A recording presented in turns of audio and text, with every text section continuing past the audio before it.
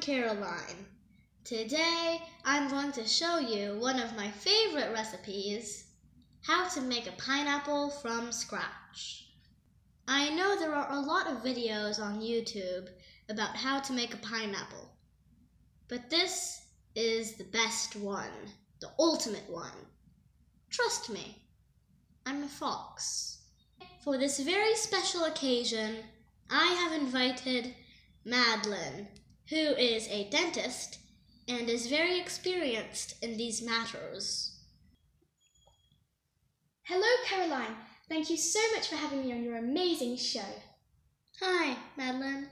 Okay, so how are we going to make the pineapple? Well, I've brought, um, made this pie from my house. Um, it's actually very simple.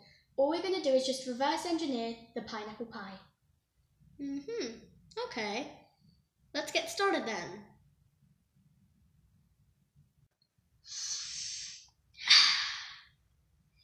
Okay, so how are we going to do this? Because I think I've done this before, but I must have forgot. Oh, well, so the first step we're going to do is just to unbake the pie. Oh, okay. What we have to do to unbake the pie is to put the temperature at minus 400 degrees for about 30 minutes. That's minus 180 degrees Celsius. It's time. Let's see if it's ready.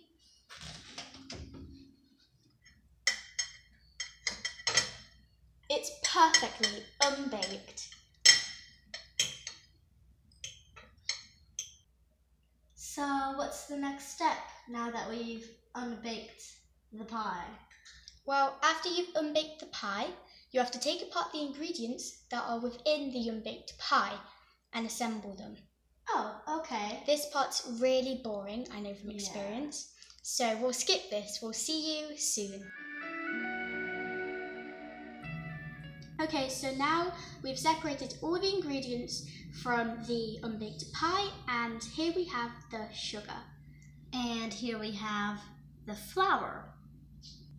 So here we have the butter, And here we have the egg. There were supposed to be two eggs, but one of them exploded during the process of putting it back in its shell. So we only have one egg. So this is the best pineapple I've ever done. It's a work of art. It's beautiful, it's nice and ripe. Tell me about it. Oh, Oh, yeah. so that's how you make a pineapple from scratch. I hope you liked the video. Enjoy your pineapple. Bye. Bye.